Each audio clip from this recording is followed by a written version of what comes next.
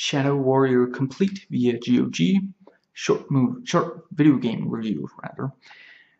There's not really a plot here. Basically, you're taking on a bunch of humanoid demons, ape creatures, and such, and yeah, killing the crap out of them one by one until you get to one of the mm, decent boss fights. The the major boss fight of the main campaign does have at least one really interesting element to it, to be fair. The the game has relatively little going for it. It's you know, it's a straightforward run gun first person shooter and it doesn't really do that much that the other you know that it than its contemporaries much less does it do any of it better than those. It's off the same engine as Duke Nukem 3, the, the build engine, and it does do some cool things. You get to ride around in vehicles, including machine gun armed patrol boats and tanks with cannons, you know, and yeah, killing enemies with these vehicles, with the, the guns on them. And it does have larger and more varied environments than Duke Nukem 3D.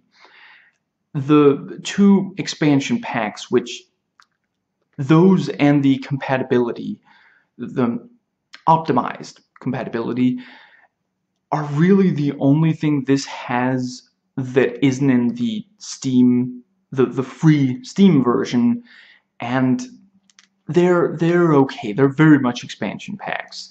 You know, with with wanton destruction.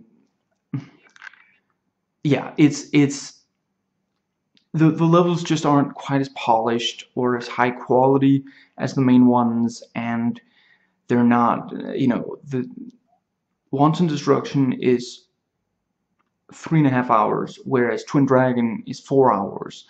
And yeah, the the main campaign took me seven and a half hours as well. So you know, th this was back when expansion packs could actually be as long as the game itself. But yeah, in this case, it does point to that the main game is pretty short and there's very little replayability.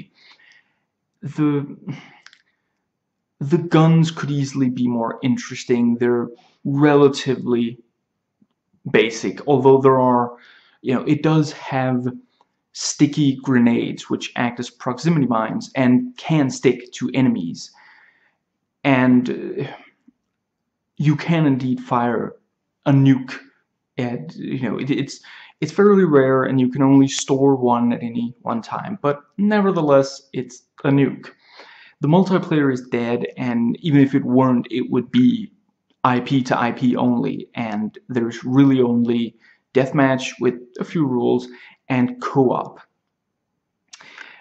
The it is very much offensive, kicking down, mocking Asian culture, which you know the the late 90s first-person shooters did sometimes really go for offending people and I don't really understand what's automatically good about that but at least you know, Duke Nukem 3D, it's offensive to feminists like myself, but for, for portrayal of women, but other than that, it is Americans poking fun at American pop culture. This is, if at least it was just like Asian action cinema, but it's also got like laborers complete with the hats. I'm not going to use the offensive term. And yeah, they do actually kamikaze. It's their main attack. Fortune cookies, nude anime girls, and yeah, the the level design is is quite poor most of the way. The the levels are genuinely difficult to find your way through, and you know, other than that, it sometimes boils down to just your average key hunt, although there are sometimes machines to activate or deactivate, switches, levers, elevators, and such. If you like this review and want a more detailed one, the link is in the description box. Please comment, thumbs up, and subscribe for more content.